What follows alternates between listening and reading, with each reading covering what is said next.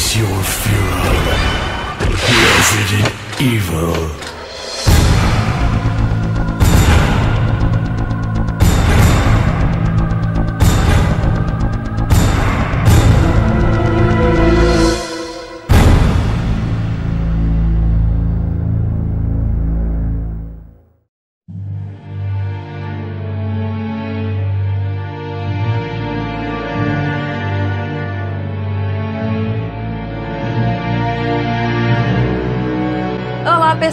Sejam bem-vindos a mais uma edição do Face Your Fear, que é o podcast oficial do Resident Evil Database.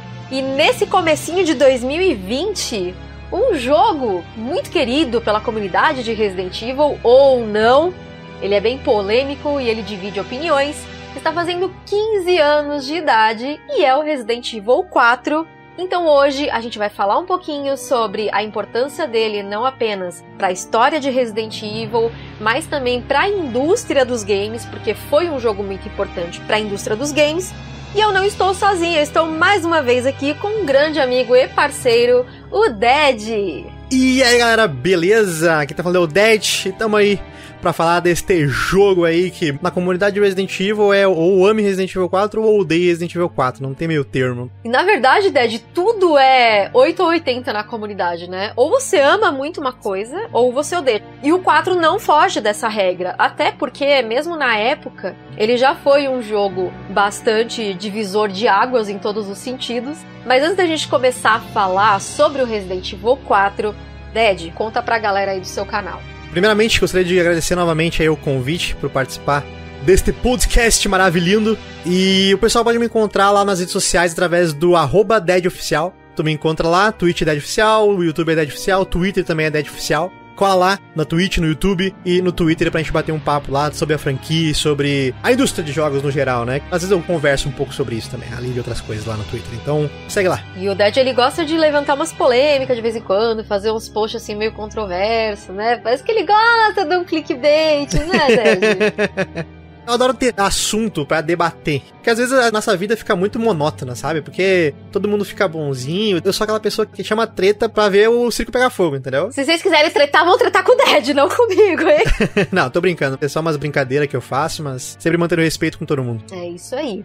Para quem não sabe, nosso podcast já tá no Spotify, Google Podcasts, iTunes, agregadores de Android e agora também na Deezer. Então procura lá, assina a gente em tudo, porque aí pelo menos você não perde. Se você estiver ouvindo aí pelo nosso site residentevildatabase.com/podcast, deixa o seu comentário. Também tem a versão em vídeo, né, no YouTube. Então, estiver assistindo aí também pela versão em vídeo, também deixem comentários aí sobre o Resident Evil 4. Depois aí dizendo o que vocês acharam, dando aquele feedback bonitinho que a gente tanto ama.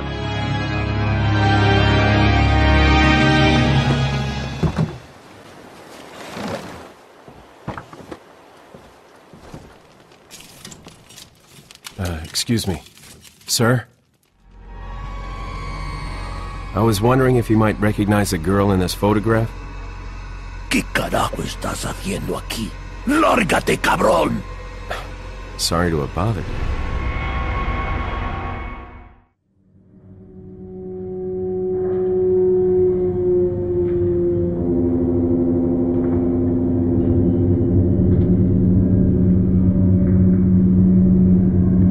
Hum. me conta o seguinte: quando você jogou Resident Evil 4 pela primeira vez, me conta como é que foi a experiência. Se você jogou mesmo no GameCube, se você tinha um GameCube na época e tudo mais. Eu sou um cara muito ruim de memória, assim, não que eu tenha problema de memória, mas eu sou muito ruim de memória. Mas eu me lembro a primeira vez que eu joguei Resident Evil 4, que foi junto com meu pai. Eu acho que na época eu tinha uns 13, 12 anos, eu acho nessa época aí do colégio, assim, da escola fundamental que foi quando eu comprei meu PlayStation 2, com a ajuda do meu pai. Então ele foi junto comigo na loja e junto com o PlayStation 2, a gente comprou dois jogos. O Resident Evil 4, porque eu já era fã da franquia, e também eu comprei, se eu não me engano, era um dos Winning Eleven, um Eleven 10, que era um jogo de futebol que eu achei que era o que meu pai iria gostar na época, porque quando a gente foi jogar pela primeira vez, a gente instalou o videogame, o primeiro jogo que eu botei foi o Winning Eleven, né? Porque, pô, tá ali com meu pai, eu acho que meu pai vai jogar junto comigo, ele vai gostar. Só que ele acabou gostando mais do Resident Evil 4, olha só. Olha! Eu acho que o Resident Evil 4 chamou mais a atenção dele acredito eu pela questão assim do gráfico, né? Porque o Resident Evil 4, o gráfico do Resident Evil 4, Não vou dizer que era revolucionário pra época, mas para mim, como eu tava recém comprando um PS2, né, eu tinha um PS1, o gráfico do Resident Evil 4 era um absurdo, assim, era um negócio muito realista comparado ao PlayStation 1, né? Aqueles gráficos de PlayStation 1. Então é uma memória muito afetiva que eu tenho com o jogo. Eu me lembro muito por causa do meu pai, né? Porque meu pai gostou do Resident Evil 4 ao invés do ID11, que eu achava que ele ia gostar. Eu lembro também que o Resident Evil 4 foi o jogo que fez o meu pai me deixar de castigo, porque eu fiquei insistindo muito tempo para ele, para me comprar um memory card, porque a gente comprou o Play 2 e não veio o memory card. Daí eu tive que jogar o Resident Evil 4, então eu nunca conseguia terminar o game. Uma semana depois que a gente comprou o Play 2, eu fiquei enchendo o saco deles até a gente comprar um memory card pra gente poder terminar o maldito Resident Evil 4. Joguei ele no PlayStation 2, claro. Nem conhecia o GameCube na época, como eu não tinha muito acesso à internet. E só depois eu fui descobrir toda essa treta aí, né? Essa divisão de águas que inclusive teve dentro da Capcom, né? Cara, isso que você falou de gráficos não serem tão revolucionários, eu vou discordar, porque eu acho que o gráfico do 4, ele foi muito revolucionário sim. Eu acho que na época tinham poucos jogos com a potência gráfica que o Resident Evil 4 tinha. E ele foi revolucionário em vários sentidos, né? Revolucionário em vários sentidos aí. e não só nos gráficos, mas a questão da história, né? Porque trouxe uma história totalmente diferente do que a gente estava acostumado com Resident Evil também. Você já tinha jogado, né, os anteriores? Sim, sim, já era bem fã da franquia. Eu tinha jogado só os do PS1, né, que era o 1, 2, 3 e o Survivor.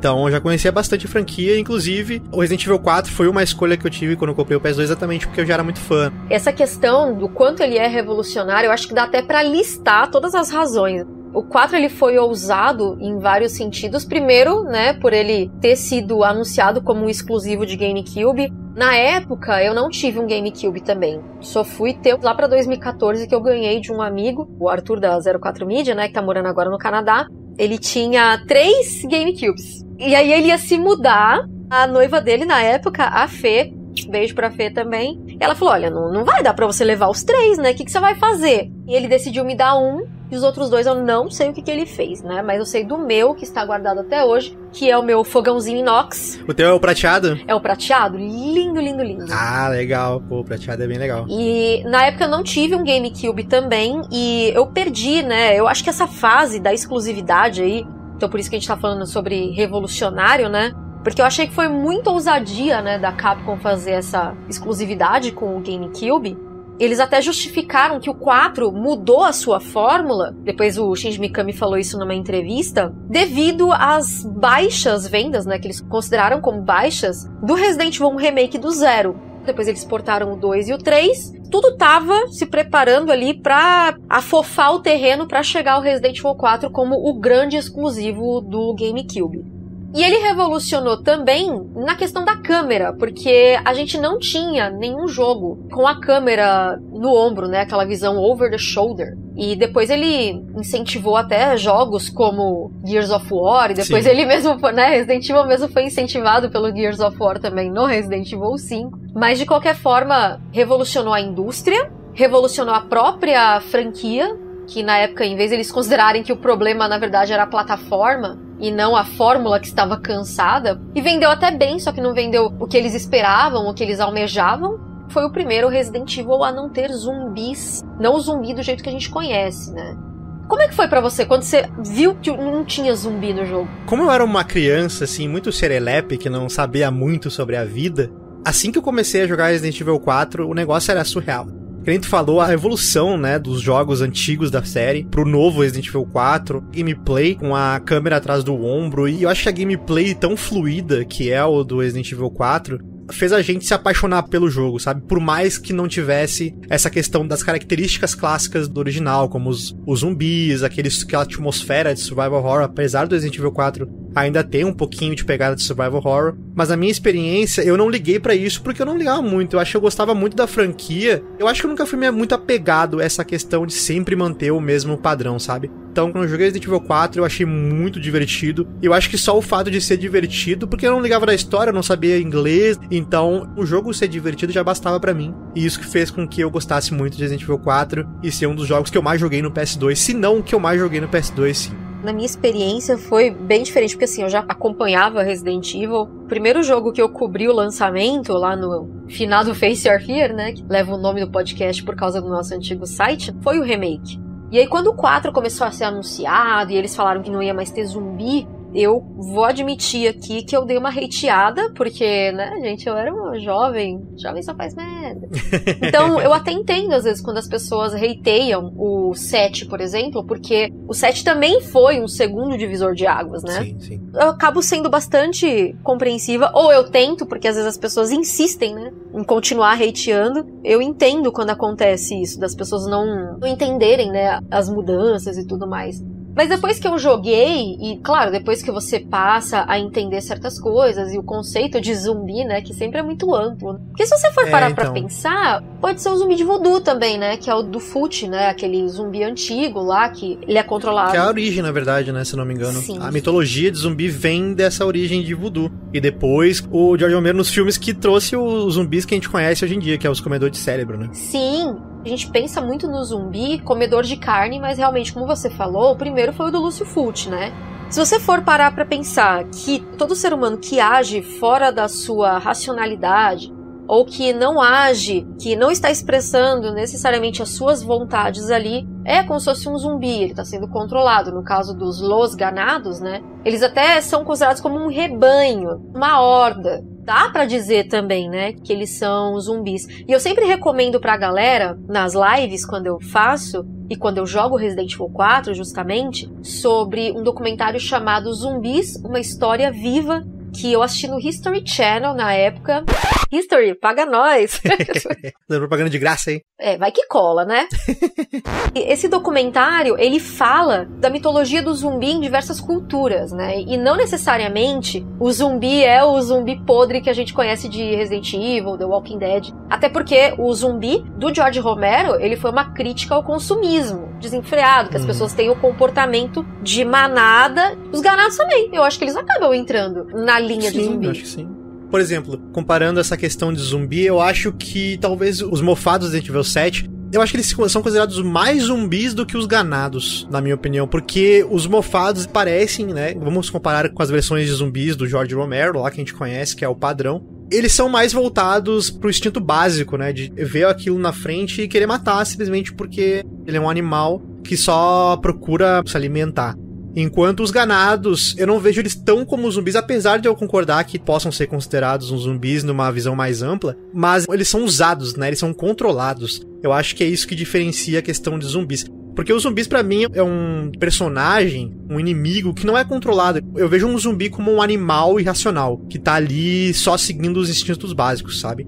Eu entendo quando o pessoal compara o Resident Evil 4 dos ganados, os magines do Resident Evil 5, mas eu não concordo tanto, sabe? É porque assim, se for pensar pelo zumbi do Romero, de certa forma eles estão sendo controlados, mesmo que seja pelos instintos mais primitivos, Sim. usando toda a questão de crítica ao consumismo, eles estão sendo controlados pelo marketing, eles estão sendo controlados pela sociedade, pela forma como eles têm esse comportamento de manada. Eu acho que entra, sabe, muito nesse conceito, porque o zumbi também. Sim. A própria população de Raccoon City, com esse negócio de glorificar a Umbrella, porque ó, a Umbrella está dando empregos pra todo mundo, vou fazer tudo que a Umbrella quer, sendo levados pela opinião das autoridades, né, do prefeito, do político, dá pra dizer até eles estavam tendo um comportamento de manada ali, um comportamento de rebanho, um comportamento de los ganados, um comportamento de zumbi também. Enfim, acabou que tiveram aí a sua ruína por conta desse controle também que a própria Umbrella exercia sobre essas pessoas, né? Pela essa visão dá pra levar assim, mas eu acho que é uma discussão um pouco mais ampla, né? Não tem como definir exatamente o que, que é um zumbi. Os granados sim entram na categoria de zumbi quando tu vai por essa perspectiva mais ampla do que é ser um zumbi, da mitologia do zumbi, né? Sim, acho que a gente pode até um dia fazer um podcast sobre isso. A gente chama o Maxon. Ah, Vai ser um bom assunto, assim, pra gente falar, né, sobre a, a mitologia do zumbi, sobre a fisiologia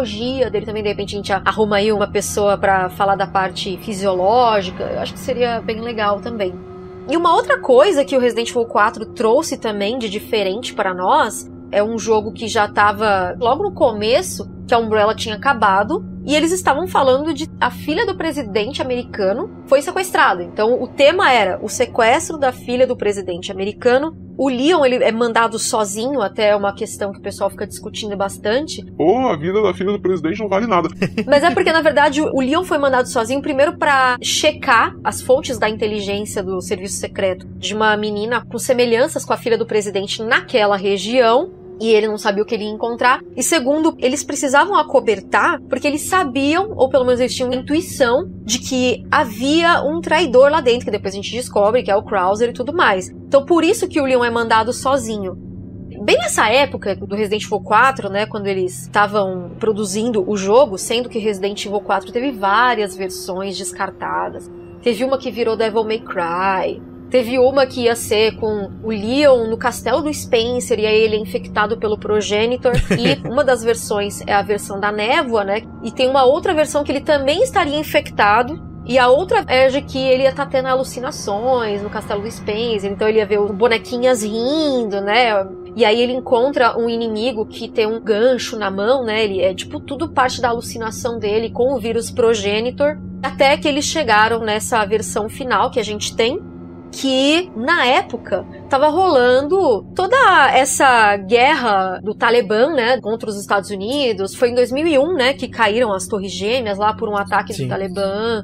Tava se falando muito sobre terrorismo, sobre guerra santa, que era uma questão de povo islâmico contra o ocidente, né, pecadores e tudo mais. Gente, não estou julgando religiões, eu só estou falando o contexto histórico do que realmente aconteceu. E eu acho que bate, né, a época em que foi desenvolvido com o tema, porque a guerra do Iraque, ela começou em 20 de março de 2003, foi até 2011, né? E na época Isso. eles atacaram lá o Afeganistão e tudo mais. Dá para assimilar com o pessoal ali dos Los Iluminados, até porque o Sadler, né, que é o líder dos Los Iluminados, ele fala que antes dele devolver, né, a Ashley para o presidente, ele vai pedir dinheiro, porque é muito custoso você manter o culto dos Los Iluminados, né? Então, eu acho que foi uma tentativa de trazer Resident Evil, de aproximar para o mundo real. O que, que você acha? É, eu acho que sim, porque os Iluminados, eles não que sejam a personificação dos terroristas, né? Mas dá para assemelhar bastante os Iluminados com terroristas, né? Com o plano que eles queriam fazer de mandar a Ashe lá para os Estados Unidos para poder tomar conta dos Estados Unidos e quebrar o, o país por dentro. Então, acho que tem muito essa questão de terrorismo. A franquia sempre teve esse assunto meio político. O pessoal meio que ignora isso, ou talvez não perceba. Depois, acho que Resident Evil 4 pra frente, teve bastante questão política envolvida e muitas das coisas que a gente vê hoje em dia, ou que a gente viu na história do mundo, tem em Resident Evil, né? Então por isso que a franquia é muito rica nessa questão de história. Com certeza. Tem essa questão de armas biológicas e governo que financia empresas privadas que fazem essas pesquisas. Sim. Quanto que a indústria farmacêutica, por exemplo, esconde de curas, né? E continua lucrando em cima das doenças das pessoas. Existe esse ar conspiratório e tudo mais. Resident Evil sempre trouxe. E eu acho que na época eles quiseram mesmo aproximar para a vida real. Olha, a filha do presidente sendo raptada por um grupo com intenções religiosas, porém políticas, né? Uhum. Combinando ali, querendo purificar o mundo com o seu sangue sagrado, porque todas as outras pessoas que não são controladas pelo Sadler e não fazem parte da religião dos Los Iluminados estariam erradas o plano deles era começar de dentro para fora. Como os Estados Unidos são soberanos, né, na parte econômica, na parte militar e tudo mais no mundo, eles decidiram raptar a filha do presidente, pedir o resgate, e na hora de entregar ela, entregá-la já com a plaga, já controlada, já com as ordens que o Sadler ia dar para ela, e aí ela ia contaminar o pai, e aí o pai vai seguir as ordens dela e do Sadler, e aí ele ia dar um discurso, ia começar a espalhar a plaga e o controle dos Los Iluminados de dentro do governo americano para o mundo. Começaram a expandir muito a história, porque a gente estava preso ali, Raccoon City, Raccoon City, Umbrella, e de repente eles resolvem ampliar a coisa para terrorismo mundial, porque apesar de ser com um agente e um núcleo pequeno ali, o pessoal fala que Resident Evil 4 não tem história. Gente, vocês estão jogando o jogo errado, então vocês não estão prestando atenção, hein? Não tem dos files, hein? E a história do Resident Evil 4, ela se passa em 2004, e aí, como a gente falou, a inteligência dos Estados Unidos tinha informações, né? A Ashley Graham, de 20 anos de idade, foi raptada e levada até onde eles sabiam para uma região remota na Espanha. Tava bem no outono, e aí eu até falei sobre isso nas lore runs, que a gente não tem uma data exata de quando acontece, então seria o outono europeu, E eu acredito que seja ali na região da Galícia, né, pelo clima oceânico, porque eles vão para uma ilha também, né? Então eu acho que tem proximidade com ilhas ali, eu acho que seja uma parte meio litorânea. Então faz todo sentido esse clima oceânico. E é um lugar que o clima oceânico ele vai de 4 a 16 graus no outono, né? Ele é bem friozinho. E o Leon é mandado sozinho e quando ele chega lá, ele é recebido não muito educadamente, né, pelos los ganados ordenados lá pelo Sadler, né, para proteger sua prisioneira, né, Isso. a Ashley.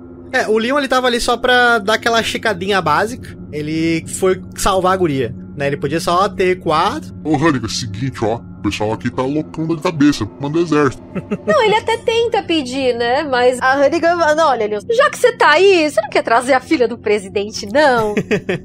A Hannigan, por exemplo, mandou um helicóptero pra resgatar eles, né? Então, não, como é que ela ia saber também que os caras tinham uma milícia armada com bazucas e metralhadoras montadas? É meio complicado também dela descobrir isso, né? O raciocínio tá certo. Pô, tu conseguiu salvar a Ashley, tirou a Ashley lá da igreja. Então vamos tentar resgatar ela. Tô mandando um helicóptero aí, o Mike tá a caminho. Não tem como culpar o Leon e a Hannigan, né? O problema é que o Mike ainda foi o plano B, porque primeiro eles mandaram um helicóptero, aí o helicóptero foi derrubado, vai ter que continuar sobrevivendo aí, vamos na fé, Deus no comando, e é isso aí, sabe?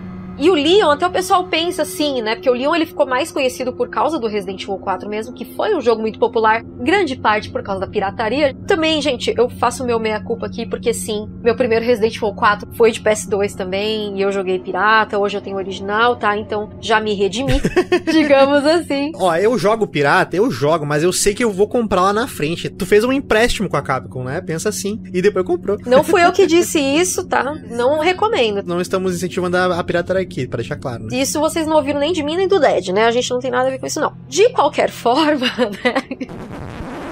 Eu já até esqueci o que eu tava falando de novo. tá foda.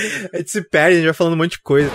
Mas o Leon, ele é muito queridinho pela galera, não só pelo Resident Evil 4 ser um jogo muito popular, mas porque ele é todo mito, todo ninja, não sei o que. Até existe muito essa questão de o Leon está infectado com alguma coisa, o pessoal acha que o Gaiden, por exemplo, é um prelúdio pro Resident Evil 4, quando o Gaiden, na verdade, nem canônico é, porque o Leon, na verdade, no Gaiden, ele morre e é substituído pela Amoeba, que é a arma biológica do jogo e que assume a forma do Leon. E para diferenciar ela e uma pessoa real, quando ela assume a forma da pessoa, é a cor do sangue da Amoeba. Então o Leon, se fosse a Amoeba hoje, ele teria sangue, Sangue verde. verde. A gente já sabe que no jogo ele tem sangue vermelho, porque o Krauser corta a cara dele e a gente vê sangue vermelho caindo do rostinho lindo dele. É Porque o Leon, ele é meio gado, mas ele é lindo. É, então, se eu não me engano, né, quando eu tava falando mais cedo ali sobre as versões descartadas de Resident Evil 4, eu tinha lido algum lugar que tinha uma versão de Resident Evil 4 que eles tinham planejado que seria o Leon infectado quando ele foi infectado no Gaiden. E daí eles usariam o Gaiden como base. Eu não sei se isso procede. Eu acho que não, porque o próprio nome Gaiden, e ainda bem que você puxou este tema, porque eu gostaria muito de explicar. O termo Gaiden significa justamente uma história não oficial. Ele é um spin-off, só que não canônico. Sim. Uma side story. O Gaiden é um jogo terceirizado. Então nem teria como usar o Gaiden como um prelúdio, porque realmente o Leon morre. E aí a, a Moeba assume o lugar dele. Eu vou dar um spoiler aqui do final do Gaiden, porque eu sei que vocês não vão jogar, então eu vou poupar vocês. Existe lá uma treta lá no final. Tá lá o Barry, a Lúcia, que é a menina que tem uns poderes lá de conseguir sentir a presença da Moeba. Tá a Moeba e tá o Leon, e aí um deles cai no mar. E o que sobra tá com um corte no pescoço. E aí o jogo foca nesse corte no pescoço e mostra que esse corte, na verdade, está sangrando verde. Ou seja, quem morreu de verdade foi o Leon, não foi a Moeba. Realmente não tem como ser canônico, né, o Gaiden. Mas já pra pensar que essa Moeba poderia ser do bem? Quando vê essa Moeba aí, tá salvando a filha do presidente lá, dando altos piruetas no Resident Evil 4. Só se ela trocou a cor do sangue dela também. Ela evolui, vai ser mais real. Olha, faria todo sentido porque, cara, o Leon tá nessas com a Ada há 15 anos pra defender, só justificando que ele é uma amoeba mesmo. Porque não é possível. E sobre ele ser todo mito, né? Desculpa, fãs do Leon, é tudo brincadeira, tá? É só uma brincadeirinha. E sobre ele ser todo mito e ele dar essas piruletas e tudo, é porque ele passou por um treinamento muito intensivo justamente pra poder cuidar da segurança da família do presidente americano. E eu acho até que às vezes ele faz uns too much, sabe? Tipo o advogado que acabou de se formar e quer processar todo mundo. Sim. É o Leon. ele acabou de aprender os negócios, em vez de ele dar um tiro no Bitores, que ele tá com uma espingarda, ele quer dar um chute. Entendeu? Então ele tá com a confiança lá em cima, entendeu? Muito interessante do Leon, né? Porque no próprio Resident Evil 2, lá no clássico, ele já tinha essa pegada, né? No Resident Evil 2 Remake também tem um pouco disso, mas eu acho que é mais no clássico, assim. Tem muito aquela questão dele querer salvar as pessoas, né? Ele querer mandar nas pessoas. Eu sou o policial, você é o civil, então você tem que seguir o que eu falo. Eu tenho que te proteger. Inclusive no próprio jogo, eles brincam com isso quando o Leon fala pra Ada, é, mas parece que ninguém tá me ouvindo aqui, porque a Claire não ouve ele, a Ada não ouve ele, e ele quer ser essa pessoa que protege as outras. Então acho que é muito do Leon isso, essa questão de querer se mostrar em serviço, né? É, eu acho que o Leon ele tem um instinto muito protetor e um instinto de querer ajudar muitas pessoas. A própria Helena, do Resident Evil 6, né? que na verdade eu acho que a Helena desculpa, mas ela errou, tanto que eu não acho que ela podia sair impune no final. Ela, de certa forma, não importa quais foram os motivos que a levaram a isso, não importa se a irmã dela estava raptada, ela teve culpa sim na morte do presidente dos Estados Unidos, do Adam Benford, que era inclusive amigo do Leon. Então eu acho que ela tinha sim que pagar pelos crimes dela, né, por ter sido uma cúmplice nisso nem que fosse pelo menos de perder o cargo, ser exonerado, esse tipo de coisa, sabe? Cumprir uma prisão domiciliar. E ainda assim, quando ela fica, olha, eu vou te contar tudo na catedral e tudo mais. Então o Leo, ele confia muito nas pessoas. Ele tá sempre sendo levado a confiar, ele confiou na Eida, confiou na Helena e tudo mais. Então ele sempre é levado a confiar nas pessoas e ele tem mesmo esse instinto protetor. Já a Ada, ela também tem essa coisa com o Leon, que é essa história, né, que foi criada com o Leon, e a Ada retorna, né, no Resident Evil 4. E tem uma particularidade no encontro entre eles, porque no Resident Evil 2, no clássico, que o Kenon é Claire e Leon B, a Ada teria morrido. Uhum. Tudo bem que ela joga a Rocket Launcher, mas pô, apesar do Leon perguntar, Ada, é você? Ninguém responde, então não tem como ter certeza. Mas quando eles se encontram no Resident Evil 4, ele não se surpreende. Porque acho que ele já deu uma stalkeada, já descobriu tudo sobre Ada Wong. Joga Ada Wong no Google aqui, já baixou a ficha corrida da garota e descobriu que ela já estava trabalhando para o Wesker. Inclusive, ela também está lá naquela região da Espanha em busca da amostra da plaga controle do Sadler, que é o líder do culto Los Iluminados. Então, o Resident Evil 4 também marca não só a volta do Leon, mas também a volta da Ada. E aí a gente tem esse conflito de interesses, mas mesmo assim a Ada sempre não querendo matar o Leon, porque ela recebe ordens, né? Sim. E ela fica até fazendo a egípcia, né? O Wesker. Você já encontrou o Leon? Ela, não, não encontrei ainda não. Você achei que a gente ia embora. é, a Ida quando vê o Leon balança, né? É, e no 2 Remake, infelizmente, a gente não teve isso, né? Foi muito mais uma coisa de sedução do que de envolvimento emocional, né? É, no finalzinho ali teve uma ceninha assim, mas foi muito rápido, que não chega a se importar tanto, né? Na hora da ponte, quando ela tá mirando para ele, ela não atira nele, porque mostra que ela ainda talvez tenha um sentimento por ele. Mas não é explorado isso. Sim. Outro personagem que a gente tem no Resident Evil 4 também é o Louis Serra. Quando a gente encontra com ele, ele tá preso. Na primeira conversa que o Leon tem com o Louis, ele mente falando que ele era um policial de Madrid quando na verdade ele é o pesquisador contratado pelo Sadler para pesquisar o verdadeiro potencial do parasita Las Plagas. Inclusive, o quadro também foi revolucionário nisso, porque antes a gente tinha vírus que transformava pessoas em zumbis sem controle nenhum das suas vontades. E agora a gente tem o Parasita, que controla pessoas. Elas estão agindo pela vontade do Sadler. E eu lembro que na época do Parasite Eve, você jogou, né, Parasite Eve, ou Dead? Não, joguei, nunca joguei. O Parasite Eve, ele foi lançado como se fosse o Resident Evil da Square, na época. Ele saiu em 98, tipo um survival, mas como um RPG de turno. E aí tinha a provocação na frase promocional do jogo. It's not a virus, it's evolution. Não é um vírus, é evolução. Resident Evil 4 respondeu à altura. Não tô falando que foi proposital, tá, gente? Com certeza não foi. Mas trouxe agora inimigos que não são o zumbi podre. Também estão fora do seu controle, mas estão sob o controle de outra pessoa e conseguem agir em bandos, criar estratégia e tudo mais. Então, foi uma evolução se você for parar para pensar, né? É, com certeza. Eu acho que eventualmente isso acaba acontecendo porque pela questão de gameplay, quanto mais a gameplay evolui, mais dificuldade ou mais desafiador os inimigos têm que ser para ter um pouco de graça. a gente que é fã da série, talvez a gente aceitaria de tranquilamente. Uma franquia completamente idêntica aos originais, sempre mantendo o mesmo padrão. Mas, para uma perspectiva mais de mercado de jogos, eventualmente isso acaba acontecendo, essa evolução. Então eles tinham que evoluir. Eu acho que a questão do Parasita foi muito bem bolada pela Capcom,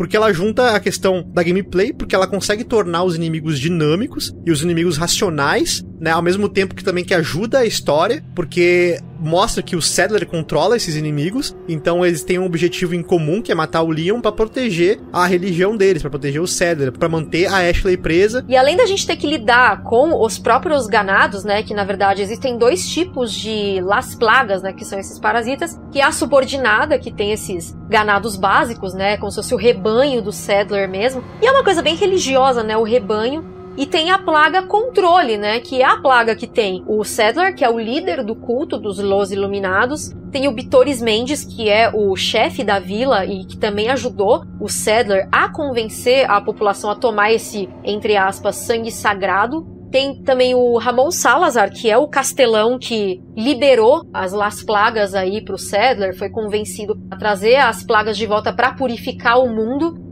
o Salazar, a gente fica meio que no conflito se ele realmente era um nanico sádico. Eu falo nanico com propriedade porque eu sou nanica ou se ele realmente foi levado pela conversa, né, do Sadler de dizer que o mundo está impuro, né? Porque o Sadler fala muito dessa coisa dos americanos prevalecerem no final e tudo mais. É uma coisa bem Bin Laden, inclusive, para se dizer assim, né? É que eu acho que nem tu falou, o Salazar, eu acredito que ele tenha sido realmente levado pela lábia do Sadler. Também pela plaga, realmente, porque a plaga ajuda, mas eu acho que ele realmente acredita naquilo, sabe? Eu vejo muito da questão do nazismo nessa representação da religião dos iluminados, né? É um pouco complicado, é meio tabu falar sobre nazismo, mas é essa referência que os, os iluminados têm no nazismo é comparável. Sim. Porque tu pega o, Hitler e seria, no caso, o Sadler, né? E no caso, o Sadler convenceu outras pessoas de alto escalão, como o Krauser e o, o Salazar, uhum. a seguir aquela filosofia dele. Então é por isso que eu vejo muito a questão do Salazar, que ele realmente tem noção do que ele tá fazendo, e não só por causa da plaga.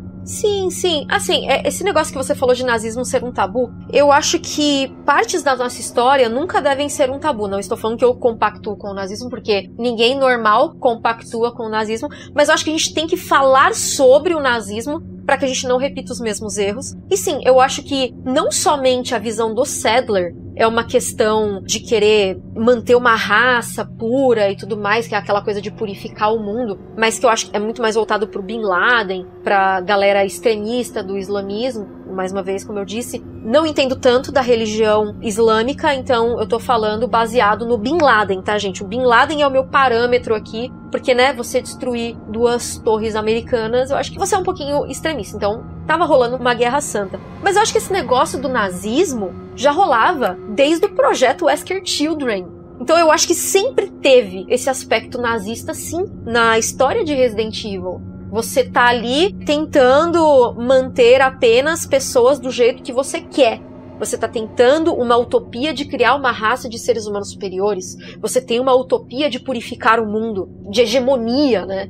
Acho que de certa forma tem tanta ligação com o nazismo, tanto os Los Iluminados, quanto a própria utopia do Spencer com a Umbrella e tudo mais. É muito mais ampliado esse termo de nazismo. Gostaria, inclusive, de trazer futuramente um historiador para falar sobre as semelhanças do nazismo com os experimentos, tanto das Wesker Children quanto também dos Los Iluminados.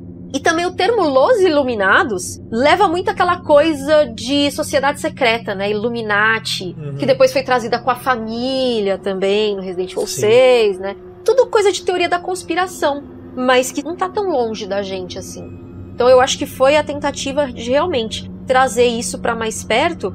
E como eu tava falando da plaga controle, a plaga controle é a que controla todos esses subordinados, né, que eram o rebanho, né? Todos eles, no fim das contas, respondiam ao Cedar, mesmo quem tinha a plaga controle, no caso do Vitores, do Salazar, do próprio Krauser, no fim das contas, apesar de eles terem livre-arbítrio, ainda respondiam ao Cedar. Não acho absurdo falar que tem semelhança com o nazismo, não, sabia? Porque realmente tem, né? Tu vê, assim. Eu acho que também o Wesker no Resident Evil 5 bebe um pouco dessa semelhança com o nazismo, por causa que nem tu falou, a questão da hegemonia, de querer criar uma raça superior, e quem não for assim, que morra, sabe? É, o próprio Ouroboros, né? Ao mesmo tempo que é complicado falar sobre isso, é uma coisa que é muito relacionada à franquia, porque eles usam isso como inspiração pra criar a história, pra criar um vilão, né? Exato. Não é à toa que eles são vilões, né? Não é à Exatamente. toa que eles são os caras maus, que apesar de a gente gostar deles, porque a gente acha, nossa, o personagem é divertido, olha, nossa, ele é legal, porque ele usa um sobretudo e um óculos escuros. não é por causa disso que a gente tá concordando com as atitudes deles. Como eu disse, Resident Evil tem muito essa coisa de o bem contra o mal. Você sabe que é uma coisa que eu gosto, esse maniqueísmo de Resident Evil?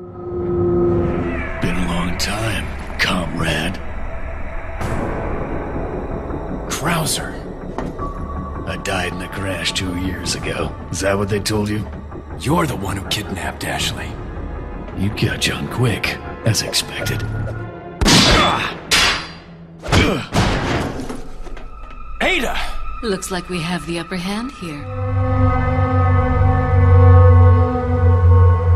E aí a gente tava falando de personagens e eu falei um pouquinho, né, sobre a galera aí dos Los Iluminados, o Cedar, líder do culto, o Bitores, que era o chefe da vila, o Salazar, né, o Ramon Salazar. E aí a gente tem o Krauser, né, que é a figura do americano. E ó, vou até entrar agora no nazismo também, porque tinha judeus na época, né, do nazismo que concordavam com o regime do Hitler, Sim. que eram os judeus considerados bons cidadãos alemães. E o Krauser, ele também, né, fez isso de raptar a filha do presidente, porque é ele que sequestra a Ashley, para levar para o Sadler para ganhar a confiança dele e consertar o braço dele. E aí agora a gente vai entrar um pouquinho na história do Krauser, que pra mim foi um personagem que não devia ter morrido. Eu gosto muito do Krauser, não sei você, Dad. Eu acho ele legal, mas eu não concordo com o fato de ele não dever ter morrido. Eu Acho que foi uma morte legal, sabe? Eu até falei, eu acho que um tempo atrás, nisso no meu Twitter, que a série ela sofre muito dessa questão de personagens não morrerem, não tem fim. Sim. Alguns personagens não precisam voltar, que nem o exemplo do Krauser. Eu acho que não tem problema ele morrer, sabe? Então, gosto dele, eu acho bem legal o personagem, mas eu acho que ele teve um final digno. É, eu gosto dele e acho que a Capcom entendeu que as pessoas também gostaram muito do Krauser, tanto que trouxeram a história de origem dele, né, no Dark Side Chronicles, no Operation Javier. Uhum. Mas ele já conhecia o Leon. Em 2002, eles têm essa missão da Operação Javier de capturar, né, o Lorde das Drogas, o Javier Hidalgo. E aí eles conhecem a Manuela Hidalgo e tudo mais, e ela fica sob custódia do governo. Enquanto que o Krauser, como resultado dessa missão, ele tem o braço ferido por uma arma biológica e esse braço nunca se recupera. E ele era um cara que gostava muito do que ele fazia como soldado. E ele foi exonerado, sem, sem nada, sem nenhuma honra e tudo mais. Por isso que ele também ao longo do Dark Side, por isso que se chama Dark Side, que é o lado negro das pessoas, dá pra você jogar os capítulos sem ser pela visão do Leon. A gente até fez um podcast aqui sobre os dois Chronicles, vou deixar linkado na descrição. Mas a gente vê o Krauser sendo seduzido, né? Pelo poder das armas biológicas. Pô, esse tal de Albert Wesker, né? Quem que é essa pessoa por trás da venda de armas biológicas? Por trás desse cara. Uhum. E aí ele forja a morte dele numa queda de helicóptero. Ele fala isso pro Leon, né? E eu gosto muito desse conflito, né, que ele tem com o Leon, porque ele também é um americano que teve que ganhar a confiança do Sadler e no final das contas ele era só mais uma pessoa que foi usada ali pelo Sadler. Então você vê, né, que no fim das contas, quando existe um regime totalitário, tem os capachos. E esses capachos, eles acabam sobressaindo, também acabam sendo só uma massa de manobra, né? Depois que ele se torna descartável, que era o caso do Krauser. É, porque o líder geralmente não liga muito pra essas coisas, ele liga pro resultado final. Os fins justificam os meios. Uhum. Então não importa quem morra. E o Crowder também, ele estava sendo usado pelo Sadler, mas eu vejo nele uma questão também um pouquinho mais de. que ele sabia que estava sendo usado, ele estava se deixando ser usado. Porque ele também pensava muito no Wesker. Uhum. Vamos dizer que o Leon não tivesse matado ele, que no confronto o Leon tivesse morrido. Eu acho que o Krauser eventualmente ia se rebelar contra o Sadler. Pra poder voltar a ajudar o Wesker, né? Ou talvez entregar a mostra da plaga pro Wesker. Ou será que ele se voltaria contra o Wesker? Eu acho que não. Eu acho que ele é muito puxa-saco do Wesker. Então, ele era tipo mão direita, assim, sabe? O 01 do Wesker. É, então. É que assim, ele era meio ingênuo, o Krauser. Tanto Sim. que ele se deixou seduzir pelo poder das Las Plagas, pela conversa do Cedar. Para ganhar a confiança do Cedar. No fim, quem ganhou a confiança, na verdade, foi o Cedar que ganhou a confiança do Krauser e não o contrário. E ele também, eu acho que ele acaba sendo um pouco ingênuo, porque na verdade o Wesker mesmo, e a gente só vai perceber um pouco mais disso no Separate Ways, que não tem no GameCube. GameCube era pra ser a única plataforma que ia ter o 4. E no fim é a versão mais incompleta que tem do 4, porque o Separate Ways, que é o lado B, né? O lado da Ada contando os eventos, né? Do Resident Evil 4. A gente vê que a Ada fala que o Wesker, na verdade, mandou muito provavelmente pra ficar de olho no Krauser, porque ele não confiava no Krauser. Ou seja, o Cedar confiava no Wesker, que não confiava nele. E confiava no Sadler, que também não confiava nele. Coitado do Krauser. Coitado do menino. Ele confiava nas pessoas. Parece eu na vida. Confio nas pessoas por ingenuidade. Acho que tá lá. Nossa, eu tô abafando, porque olha, olha a minha plaga, que olha meu braço. E aí no fim você tá, na verdade, Sendo usado. é, fazendo exatamente o papel que você já estava designado a fazer desde o começo. No fim das contas, o corpo do Krauser serve para pelo menos o Wesker extrair a plaga controle, já que a Ada entregou para ele uma plaga subordinada e a gente não sabe o que a Ada fez com essa plaga controle. O que, que você acha que ela fez com essa plaga controle? Pois é, será que ela vendeu no mercado negro? Porque apesar que no Domination, acho que é o segundo filme, tem a cena lá que ela se recusa a entregar ali a, a plaga pro rapaz que tá no computador. Que alguns dizem que é o Simmons, mas eu acho que não é. Apesar da Ida ser meio anti-herói, assim, ela tem um pouco de senso na cabeça, sabe? Eu não vou dar isso aqui pra pessoa que pode destruir o mundo. Quem na verdade vendia as armas biológicas no mercado negro era o clone dela, que eu não gosto nem de falar aqui. Nazismo não é um tabu pra gente falar mal, mas Carla Radames é um tabu até pra falar mal aqui nesse canal, tá, gente? Desculpa, mas não dá. E a Eida, na verdade, ela fala muito sobre a organização, né? E aí a gente fica, infelizmente, sem saber, né? Porque, infelizmente, a história não teve os desdobramentos. E aí que eu chego neste ponto que eu já estava querendo chegar desde a hora que a gente começou a conversar aqui para começar a gravar, que é Muita coisa do Resident Evil 4, porque a gente sabe que, infelizmente, esse negócio da história da exclusividade, essa quebra de exclusividade do Resident Evil 4, manchou a imagem do Mikami, porque na época o Shinji Mikami, que foi o diretor do jogo, ele foi colocado como a figura de Resident Evil perante o mundo. Então, ele que foi lá na hora da exclusividade apertou a mão do Shigeru Miyamoto. Ele que falava sobre o destino da franquia, não tinha PR para falar. Ele era o Relações Públicas. E aí todo mundo sempre perguntava, mas não vai sair para outra plataforma? E ele falava, não. Se sair, eu corto minha cabeça. Depois o jogo saiu para tudo e a imagem dele ficou manchada, tanto que tem até um item que chama Mikami's Head, meio que uma piada, né? No jogo que a Platinum fez, né, que é o Shadows of the Damage, que é um jogo do Mikami, né, em parceria com o Suda 51. O Mikami ele era como se fosse o Hideo Kojima do Metal Gear, né? Isso. Com Resident Evil. Então, quando ele saiu, muita coisa eu acho que não foi usado. Muitos desdobramentos do 4 não foram usados, foram, tipo, esquecidos, assim. Como as próprias motivações da Ada, a organização para qual ela trabalha. Hoje a Ada tá meio que freelancer. Um job, aham, vai, me dá mais detalhes, né, no final do 6, né, na campanha dela tinha aquele gancho que eles deixaram no final do Ada's Report, que é conteúdo do Separate Ways, uma empresa farmacêutica chamada S, que eu acho que acabou virando a Tricel, então, tipo, não tem nada de S. Enfim, é uma pena, né? E aí, você já parou para pensar, Ded, no que seria se o Mikami tivesse continuado? Eu sou muito fã dessa franquia, mas é uma franquia que não liga pra continuidade. E agora cada vez menos, né? É, então, tem as questões de continuidade que eles sempre mantêm nos jogos, da história, mas é que nem tu falou, é muita coisa, não só no Resident Evil 4, e o Resident Evil 4 eu acho que tem um grande exemplo disso por causa da saída do Mikami, o Resident Evil 4 e outros jogos da franquia, os Revelations, por exemplo, também, que eles inserem muita coisa na lore da franquia que não são usadas depois. Então é uma coisa que nem agora que o Resident Evil 3 tá em alta com o retorno do remake, o Nikolai. Nikolai é outro. O Nikolai foi inserido no Resident Evil 3, saiu vivo, bem belo. Nunca mais foi citado. O Resident Evil 3 foi em 99, se não me engano, não foi, Moni? Uhum. E agora ele tá voltando. E vamos ver se talvez se a Capcom vai fazer. O pessoal tá falando sobre Resident Evil 8, que o Resident Evil 8 tem que ser usado o Nikolai. Pra mim, cara, o Nikolai ele já devia ter morrido faz tempo, sabe? Eu acho que trazer o Nikolai agora, por mais que tu faça o remake, e o remake realmente ajuda nisso, porque traz de volta o personagem, rejuvenesce o personagem na memória do pessoal, sabe? Vamos dizer que não tivesse o remake, que do nada aparece um Nikolai aí sendo vilão. Eu acho que é muito vacilo isso. Eu acho que o que falta na franquia é ter essa continuidade. É talvez uma cabeça lá em cima, lá, uma cabeça pensante que diga, não, a história vai ter que ser assim, assim, assado. vamos começar um arco. Tem o arco da Umbrella, que é do 1, 2, 3 Code Verônica. Tem o arco do, das plagas, que é no 4, 5, 6. É. Não sei se ele tentou iniciar alguma coisa, mas ele nem sabe o que ele é. E daí tem o 7, que também iniciou agora como se fosse um soft reboot, né? Que começa um novo arco. Só que nada não leva a lugar nenhum. Eu acho que o único que levou a algum lugar foi mais o 4, assim, porque uma coisa que eu também critico muito na história do 4 é a questão da Umbrella, porque a Umbrella, ela foi destruída numa cutscene. Eu fico bolado, sabe? Tudo bem, veio depois o Umbrella Chronicles mostrando o fim da Umbrella, mas na ordem cronológica, pra uma pessoa que talvez comece a jogar hoje, que jogue só os jogos principais da série, é estranho, sabe? Porque uma coisa que era tão importante no 1, 2, 3 simplesmente morreu numa cutscene no início do jogo. O pessoal da Capcom, né, o, o pessoal que cria Resident Evil, os desenvolvedores, os roteiristas, eles não sabem para onde que eles vão levar a franquia. Uma coisa que eu vejo em outros jogos, vamos dar um exemplo aqui. Agora fora, agora eles começaram um novo arco. E agora eu tô muito empolgado para ver o que que vai acontecer na história daqueles personagens daqui pra frente.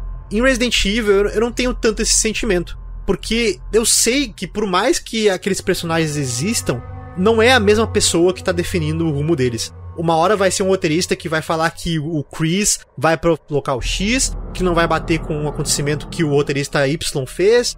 Então eu acho que é uma coisa que a franquia deveria, já que ela gosta de se inspirar tanto na- em outros jogos, eles pegarem isso, talvez setarem um roteirista, ou talvez um roteirista principal que ele defina o que, que vai acontecer na série, e daí deixa outros roteiristas, outros diretores, pra ter uma visão artística própria, sabe, em, em games específicos da série. Acho que a Capcom tinha que fazer isso pra pelo menos poder fazer a franquia ter uma continuidade legal e ter essa empolgação de ver o que vai acontecer, porque no Resident Evil 7 agora botaram a Umbrella Azul, Uhum. a gente não sabe o que que vai acontecer com a Umbrella Azul. Porque a gente não tem uma perspectiva. Isso se ela voltar. Resident Evil 6 aí apresentou um monte de coisa, apresentou New Umbrella, apresentou família. Parece que nunca mais vai ser citado, entendeu? Revelations também. Revelations tem a Alex, tem a, a Jéssica que sumiu lá com os vírus. Cadê a Jéssica? Sumiu com os vírus. O Nikolai do E3 que nunca mais apareceu. Eu acho que a franquia sofre um pouco disso e eu acho que a franquia tinha que se manter um pouco mais fechada e centralizada e começar a não se expandir tanto, né? Pra não virar um negócio muito cinematográfico, Marvel Cinematic Universe, pra poder ficar mais interessante de acompanhar. Ah, é legal ter umas pontas soltas porque os fãs teorizam? É legal. Só que se tu manter uma, um padrãozinho, deixar uma ponta solta em vez de 10 pontas soltas, aí fica mais interessante, sabe? Ah, eu também acho. Eu não concordo com tudo. Por exemplo, o Nikolai tinha que morrer, eu não concordo, mas tudo bem, a gente respeita, né, gente? Porque opinião é aquela coisa, né? Gosto não se discute, se lamenta, não é verdade? Mas. eu concordo em muita coisa. Se o Nikolai aparecer, eu vou. Meu Deus, eu não vou jogar esse jogo porque o Nikolai tá vivo, não. O problema é que a gente tá carecendo de bons vilões. Então, se o Nikolai voltasse, né? Eu acho que ele seria um bom vilão, porque ele é um bom vilão no Resident Evil 3 e tudo depende também de como você vai colocar um vilão. Porque o Derek ele tinha muito potencial no 6, né, por exemplo, e virou uma porcaria. Então, Uhum. de qualquer forma, eu acho também, eu acho que tá faltando uma pessoa pra ser a cabeça, sabe? Isso. dessa história toda, que era o, o Mikami, porque vocês podem reclamar o que for, ah, o Mikami foi a pessoa responsável por transformar Resident Evil em ação. Não, foi a Capcom que foi responsável. O cara, ele era um empregado no fim das contas, então manda quem pode, obedece quem tem juízo. O cara fez o que ele tinha que fazer, tanto é que assim, Resident Evil 4 é um bom jogo, ele ganhou de jogo do ano em O 2005. Resident Evil 4 é um, é um ótimo jogo, né? Não é à toa que a gente, a gente falou no início do podcast, ele revolucionou muita coisa da indústria. Exato. Tem muita gente que define ele como um dos melhores jogos de todos os tempos, sabe? Sim. Então, eu acho que o pessoal da fanbase, que é fã de Resident Evil, eles não gostam tanto de Resident Evil porque ele se distua muito da franquia em relação aos originais e outros jogos, mas o jogo Resident Evil 4 é um dos melhores jogos realmente já criados, cara. Claro, tem a questão do Resident Evil. É um dos melhores Resident Evil? Não, não é um dos melhores Resident Evil. Tem outros melhores, muitos melhores aí, com histórias melhores. Eu acho que o pessoal tinha que dar valor um pouquinho mais pro Resident Evil 4. eu brinco e tudo com o Leon, mas assim, é uma coisa que eu tô falando, ninguém joga Resident Evil 4 pela história. Todo mundo fala que o Resident Evil 4 não tem história. E eu fui o único canal que foi lá e começou a explicar a história do Resident Evil 4. Sim, Resident Evil 4 tem muita história, você que não presta atenção. Eu não acho realmente que ele é o melhor jogo.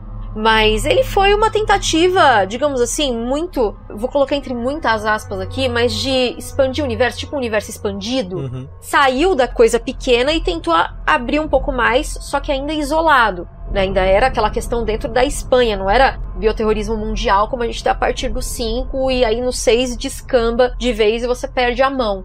Não culpa o Mikami. Pô, eu acho que ele fez o que ele tinha que fazer. Tentou expandir. Eu acho que foi até uma ordem, talvez, de cima, de virar e falar assim: olha, quero mais próximo da realidade, mais, sim, mais. Eu quero, relaciona aí com Guerra Santa, relaciona aí com presidente americano, George W. Bush estava em voga na época. Põe o Leon, quero o Leon mito, não sei o que, dando piruleta. Eu, eu vejo o Leon muito como um James Bond e uma coisa que também, mas acho que fica para um próximo podcast, que é essas mudanças, né? Uma hora o Leon é o James Bond, daqui a pouco o Leon é um sad boy, daqui a pouco o Leon é um cachaceiro, daqui a pouco o Leon. Sabe? Cada hora ele é uma coisa. Daqui é mesmo. Mas enfim, né? Eu acho que muita coisa se perdeu. E às vezes eu paro para pensar assim no que poderia ter sido, né? Então é isso, né? Saudades do que a gente nunca viveu pós Resident Evil 4 com o Mikami. É, mas é uma coisa que, tipo assim, a questão de ação. Se tu for analisar todos os outros jogos depois do Mikami, ele veio com esse Shadow of the Damned, se não me engano. Depois veio com Vanquish também, que era um. que ultimamente ele tá sendo bem aclamado, mas na época eu não sei se ele foi tão aclamado. Que é um jogo totalmente de ação, que bebe muito do Resident Evil 4, da mecânica do Resident Evil 4, bebe também de Gears of War, né? Que na indústria dos jogos é isso. O cara que criou X inspira o Y, que inspira o X de novo. Uhum. Eu não sei não se Resident Evil 5 não iria continuar nessa pegada de ação, mesmo com o Mikami, sabe? Porque que nem tu falou, eu acho que vem muito mais da Capcom, né? A Capcom quer que seja ação, porque ação vende.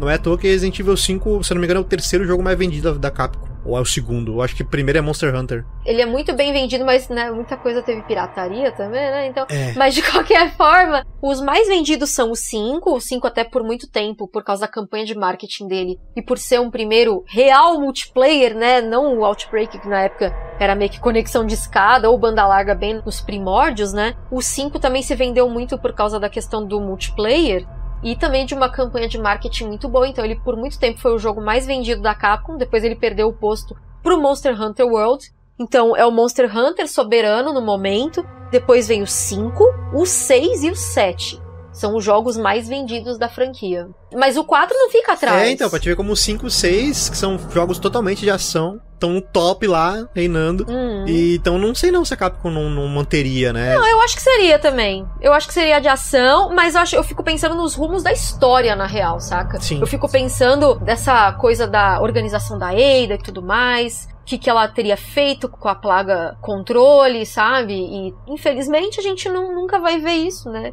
E é uma pena e talvez a gente até possa. Vou até deixar aqui pro público comentar. Vocês gostariam que eu chamasse o Dead pra gente gravar um e se, um podcast What If de Resident Evil? Ser louco, hein? Já pensou? A gente pode abordar. Imagina a gente teorizando o que, que aconteceria. Até peço pra vocês deixarem nos comentários que tipo de ECs vocês gostariam. Tipo, e se um personagem X morresse? Por exemplo, os Stars não tivessem sobrevivido a, a incidente da mansão. Só um exemplo. E se o Raccoon City não tivesse explodido?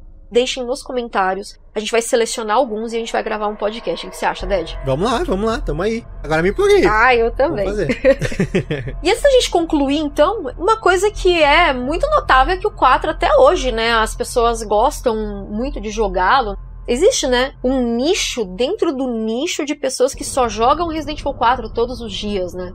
Por que que você acha, Ded, que essas pessoas gostam tanto do Resident Evil 4? Por que que o 4 até hoje ainda faz tanto sucesso, assim, na questão de gameplay? Eu acho, como analista de nada que eu sou, A gente tá analisando, então somos analistas. na minha visão, eu acho que vai muito daquela questão de pirataria que a gente falou, sabe? Porque Resident Evil 4, não só pelo fato da pirataria, mas eu acho que pelo fato de ele ser acessível em todas as plataformas, até pra Zibo ele tem. então tu pode jogar em qualquer lugar, literalmente. E além disso, ser todas essas características que a gente falou, que a gente citou anteriormente, do gameplay revolucionária, da história legal, do personagem Leon, que todo mundo inspira a ser, né? Esse agente super secreto. Eu acho que tudo isso ajuda nessa questão de ele ser famoso, sabe? Do pessoal querer jogar ele. Mas eu acho que vai mais mesmo assim da questão da gameplay. Eu acho que a gameplay envelheceu muito bem, né? Eu acho que o pessoal fala muito também da questão de remake de Resident Evil 4. E eu acho que Resident Evil 4 não precisa ter remake. A gameplay do Resident Evil 4 ela evoluiu muito bem, não precisa ter remake. Talvez uma remasterização com gráficos melhores, mas mantém a mesma característica, sabe? Não vem que nem Resident Evil 2 aí que mudou completamente o original pro remake. Então acho que mantendo aí um R4 igual ao original, eu acho que seria interessante, né? Ou a Capcom simplesmente vai ficar fazendo aí remaster e até não poder mais. vai ter remaster pro PS5 e pro Xbox Series X. Eu tô dizendo aqui já, hein? É, mas é verdade, sim. Eu acho que o Resident Evil 4, o gameplay dele ainda tá muito atual. Essa galera que só joga o Resident Evil 4, não tô criticando, não tô falando de uma forma pejorativa não, tá, gente? Essa febre pelo Resident Evil 4 é a maior prova disso. Não há necessidade de um remake. Né? Eu acho que os gráficos dele ainda são muito bons, inclusive a câmera no ombro, a visão do personagem é usada no 2 Remake, por exemplo. Então, tá dentro ainda. O 2 Remake só deu uma aperfeiçoada hora que você é pego pelo inimigo, né? Que dá aquele close do inimigo mordendo você. Você tá usando da mesma fórmula ainda dessa câmera que foi tão inovadora, né, para a indústria dos jogos, não só para Resident Evil, mas para a indústria dos jogos, tanto que o 5, quando ele saiu, a crítica chamava ele de Resident Evil 4 com esteroides. A Capcom vem usando essa perspectiva over the shoulder até hoje. O 3 também vai ser assim. Quem sabe aí? Então eu acho que o 8 tem que seguir nessa linha porque eu acho que é muito eu boa. Eu acho que vai. É, então eu acho que também realmente não precisa de um remake. Questão gráfica, nada que uma remasterização ou um patch de texturas não resolve. Inclusive, tem uma galera que faz o HD Project. Pronto, já resolveu. É. A Capcom nem precisa se preocupar que já estão fazendo de graça. Acho que inclusive deviam cobrar. Pelo seu trabalho, ninguém trabalha de graça, nem relógio trabalha de graça. Você tem que dar corda, ideia pra galera do HD Project. Tem que cobrar sim. Tô brincando. E uma coisa também que eu noto dessa questão dele ser muito jogado, eu sou uma pessoa que eu canso de ficar jogando o mesmo jogo várias vezes. Mas eu acho que uma coisa que ajuda muito a questão do Resident Evil 4 é aquela questão da dificuldade dinâmica que o jogo tem. Porque o jogo, apesar dele ter aquele padrão, aquele sistema padrão que tu conhece, como por exemplo, ah, eu quero talvez desviar de um ataque do inimigo, então eu vou dar um passo para frente, espero o inimigo fazer o golpe e dar um passo para trás. Mas essa questão muda toda vez que tu joga Resident Evil 4, é uma gameplay diferente. Uhum. Claro, se tu for um speedrun profissional, aí não vai ser, obviamente, né? Vai ser meio igual, porque tu vai sempre manter a mesma coisa. Toda vez que tu joga Resident Evil 4, sempre alguma coisa muda. Porque a tua mira talvez seja imperfeita, que erre alguns tiros, o inimigo faça alguma coisa que ele não tenha feito outras vezes. Então eu acho que Resident Evil 4 ele se mantém ainda nessa posição assim de um dos jogos mais jogados aí pela galera, pelos fãs da franquia principalmente por causa dessa questão do dinamismo que ele tem, né? É por isso que o pessoal faz muito aquela questão de desafios, de fazer sem danos. Porque no sem danos sempre muda alguma coisa. Nunca vai ser a mesma run. Nunca tem como decorar tudo certinho. O fator replay dele, né, se torna bem interessante. Isso vem muito no Resident Evil 2 Remake também. Porque apesar do jogo ter essa questão de os inimigos sempre estão na mesma posição, ele se move muito aleatoriamente. Então, toda vez que tu jogar o Resident Evil 2 Remake, sempre vai ter alguma coisa diferente. O inimigo vai estar diferente ali na posição. Tu errar um tiro, ou tu errar, ou tu não matar um inimigo, vai fazer ele ficar mais ágil, ou ir pra cima de ti, ou ele não estar mais ali. Tem muita essa questão de, de fator replay que ajuda muito o Resident Evil 4, que se perdeu um pouco no Resident Evil 5. Eu acho que no Resident Evil 5, que nem tu falou ali, que é um Resident Evil 4 com esteroides. Mas eu acho que eles botaram tanto esteroide que às vezes fica até um pouco enjoativo de jogar ele, porque é muito inimigo toda hora tu tem que ficar se adaptando, sabe? Então acho que isso causa um certo desgaste no jogador. É, e até eu acho legal porque cada pessoa tem às vezes o seu estilo de jogar, né? Sim. Porque também se todo mundo jogar igual, cadê o fator replay, não é? E é aquilo que você disse. É exatamente isso que é o, o atrativo do Resident Evil 4. O seu fator replay. Ninguém precisa jogar tudo igualzinho. Então, eu acho isso sim muito interessante. E fica até meu recado aqui, ó. Deixa o pessoal brincar, deixa o pessoal se divertir. Antigamente eu era muito, muito chato. Eu não era mal educado, que nem esse pessoal. Tem muita pessoa que é mal educada aí, né, cara? Mas, tipo assim, eu não aguentava ver uma pessoa jogando um jogo que eu jogava bem.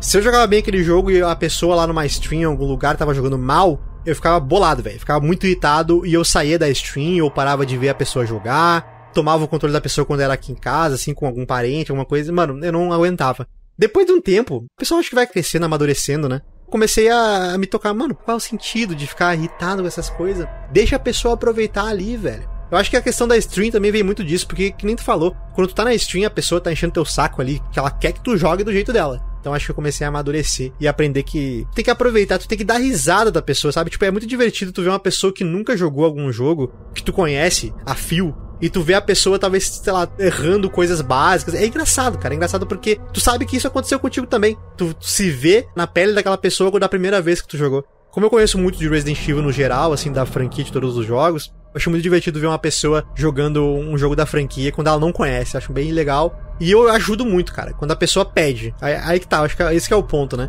Eu acho que quando a pessoa tá confortável para pedir ajuda, eu acho que é aí que tu tem que ajudar. Agora, se a pessoa não tá querendo ajuda, se a pessoa quer jogar no jeito dela, eu acho que não é legal ficar no chat ali, ou ficar em qualquer lugar que seja, falando pra pessoa como que ela deve fazer, ou o que ela deve fazer, dando spoiler do que vai acontecer. Né? Não façam que nem o Dead de 5 anos atrás. Façam que nem o Dead de hoje. Sejam good vibes. Sejam que nem a Mone. que é noob e dá risada das próprias merdas e dos próprios rages que faz o Resident Evil 4. Só não sejam como eu, porque eu sou orgulhosa, porque eu não gosto me ajuda. Por isso que eu jogo mal, porque eu não gosto que ficam me ensinando. Daí eu, eu quero aprender sozinha e aí eu me lasco, né? Mas. e assim que a gente conclui então a nossa homenagem aos 15 anos de Resident Evil 4, que é um jogo subestimado por causa da sua ação, que a galera acha que ele não tem história, mas na verdade ele tem história. E ele também é um pouco superestimado também por causa da sua ação. E as pessoas não se importam com a história. Então, parabéns ao Resident Evil 4 aí por essa bagunça, esse conflito que cria na cabeça das pessoas. As pessoas ficam emocionadas com Resident Evil 4. Não é verdade, Ded? É verdade, pô. Falar Resident Evil 4 é que nem a gente falou no início. A primeira coisa que a gente falou lá é 8 ou 80, meu filho. Ou tu ama, ou tu odeia. Tu odeia porque não é igual aos clássicos, ou tu ama porque é um dos melhores jogos já feitos. Exatamente. Daí vai de ti, vai da tua experiência, vai da tua nostalgia com o jogo, né? Eu gosto muito porque ele remete muito à minha infância. É um dos melhores jogos que eu joguei no PS2, meu jogo favorito do PS2, que eu mais joguei. Eu não me importava com a história na época, eu só tava ali pra jogar e me divertir. Pra mim é muito bom, cara. Tô no 80, eu tô no, no pessoal do 80. Pô, eu tô no 80 também, cara. Na verdade, assim, eu não tô no 80, eu tô 40, 50 ali na metade. no... Vai, eu vou dizer uns 60. Eu comprei um PS2 pra jogar o Resident Evil 4 também. Na época foi o primeiro videogame que eu mesma comprei com o meu dinheiro, sabe? Então, Uhum. me dei de presente por eu ter passado na faculdade. Só que pena que depois da faculdade eu não tive mais tempo de jogar, mas eu só jogava o 4 na época. Inclusive, eu fiz uma brincadeira uma vez, até vou esclarecer aqui, né? Porque as pessoas não entendem. A gente teve o segundo trailer do Resident Evil 3 Remake, no momento da gravação aqui. E aí eu ia fazer uma live do 4. E aí eu falei assim, gente, aborta a live do 4, pau no c... e vamos falar de 3 Remake. E aí as pessoas se ofenderam. Só que, meu, é um meme isso. É tipo, brinco, por exemplo, assim, ah, não dá pra pegar esse item. Ah, pau no c... esse item então, sabe? Ah, pau no c... do Richard, deixa ele morrer infectado e vai morrer mesmo. Então é esse tipo de coisa, sabe? Então, gente, acalmem os periquitos e as periquitas. Eu gosto do Resident Evil 4, mas ele não é meu favorito. Sinto muito, atura ou surta. Opinião é assim, não é verdade, Ded? Cada um tem a sua e o que seria do azul se todo mundo só gostasse do amarelo, não é verdade? Ded, muito obrigada pela presença aqui no podcast. Foi muito legal essa discussão sobre Resident Evil 4 com você. Sabe quem ia participar junto com a gente? O Master Reset, né, que tem um canal muito focado em Resident Evil 4, ele fala da lore também do Resident Evil 4, mas ele não pôde gravar porque, né, não bateu as agendas, infelizmente. Fica aqui o convite para o Master para um dia a gente gravar e falar mais. Então, muito obrigada, Ded, de qualquer forma. Muito obrigada. Agradeço de novo pelo convite aí, por poder participar desse podcast. Sempre que estiver uh, disposta a ficar me ouvindo falar um monte de asneira, eu estarei aqui conversando sobre a franquia aí que a gente curte bastante. Então a gente sempre vai estar aí pra, pra poder discutir, debater. Eu acho que se não fosse a Moni, tanto pelo canal dela e por ela me chamar pra bater esses papos aqui, conversar sobre a franquia, eu acho que eu teria me afastado muito mais. Hoje eu não sou tão chegado em ficar criando conteúdo pra franquia. O pessoal que me acompanha sabe, tu, tu sabe também que eu criava muito conteúdo de lore, das histórias, dos jogos. Hoje eu não faço tanto isso. Então, se não fosse a Moni aí com o podcast, com o database, eu com certeza estaria bem mais afastado do que eu estou hoje. Então, se vocês gostam do meu conteúdo, agradeço a Moni também, cara. Porque a Moni tem muita culpa nisso. Eu já falei isso diversas vezes pra ela. Antes mesmo das minhas lives, eu já me inspirava muito nela. Então, tamo aí sempre que precisar pra fazer o podcast. Tá vendo, gente? Tudo culpa da Moni. Tudo culpa da Moni. Até as coisas boas são tudo culpa da Moni, tá vendo?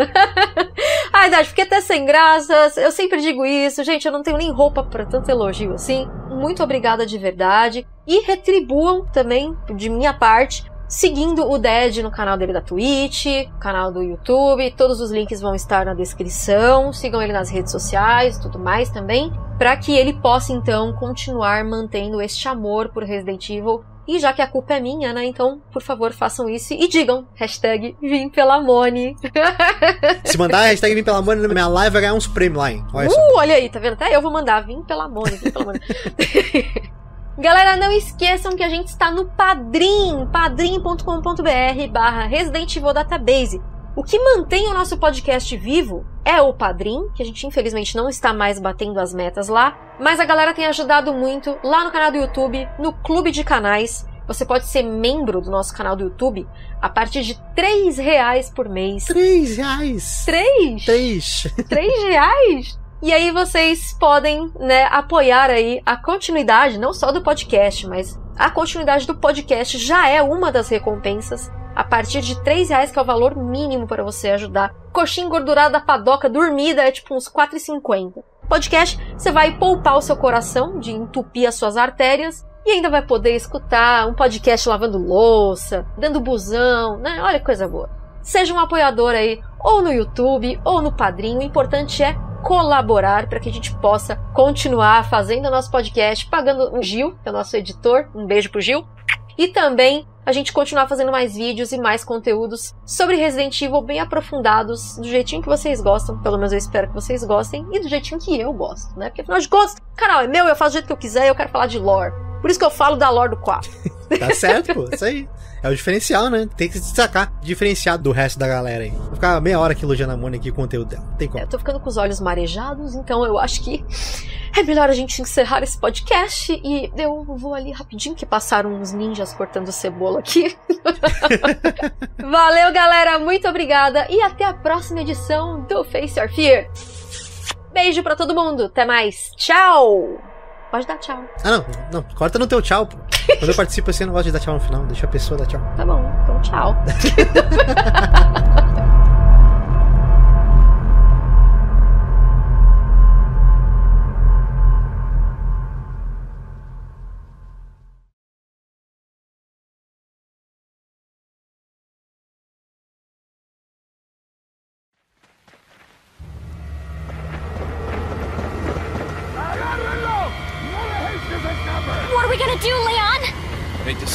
say it, but we're sandwiched, all right. Leon! Quick, in that cabin!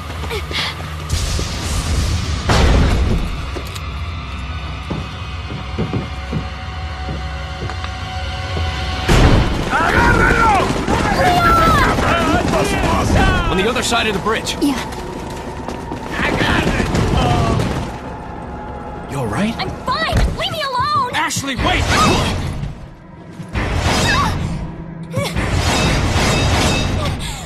Ashley! What's going on? Ah! Don't worry, Ashley. I'm coming for you. Leon! Ashley, get out of there!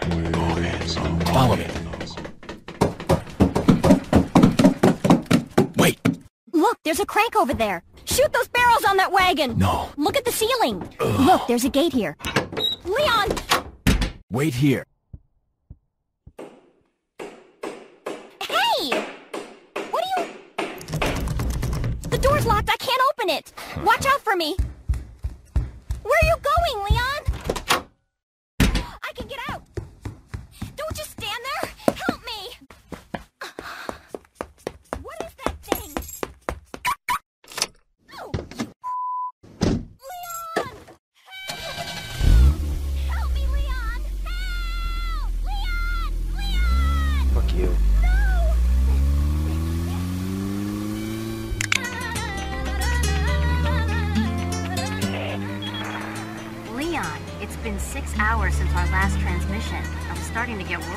Is everything okay? Hunnigan, I have some bad news. I've confirmed the body of Ashley's in a church somewhere. Sounds bad. I have an idea, Leon. I need you to. What? Repeat, Hunnigan. This is Snake. Can you hear me? Uh, well, yeah. Who is this? It's Leon. Hacked right into my channel, huh? That's a mouthful. Hey, show him a little respect. Where's the extraction point? Are you kidding me? Great. Ah, what a touching moment we have here. Who is this? Why don't you do us all a favor and leave before the audience gets pissed off? Are you serious? Enjoy the reunion with your old friend. What's going on here? Guess I'm supposed to thank you, right? Enjoy the fun. This guy kind of gives me the creeps. Snake, Colonel, you know who that is? Is everything okay? I got a woman here. Bad question, honey. I've been able to get some new info that might help you. This is making my head hurt. Apparently, there's a religious cult group involved. They're called the Los Give me a Illuminati. break. Lolly lule lo, lolly lule lo. Whatever that lolly means. lule lo, lolly lule lo. Colonel, snap out of it. Colonel! Well, it's back to the mission for me. And again, is that you? Finally, the line's jack free. We're returning home. Give me your number when I get back. May I remind you that you're still on duty. Sounds like my kind of woman. Story of my life.